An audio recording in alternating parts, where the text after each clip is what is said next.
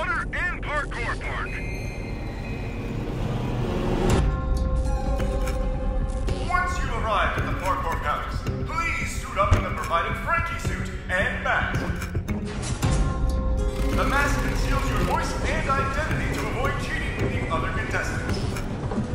Authorities have discovered three dead bodies on the premises of Frankie's Parkour Palace, seem to be three of the four unfortunate contestants chosen to participate in the company's last game show before bankruptcy. With over three stories of action-packed parkour obstacle courses, this is going to be a game show you won't never forget.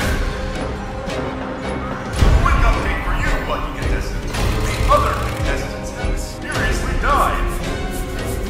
Not sure how that happened, but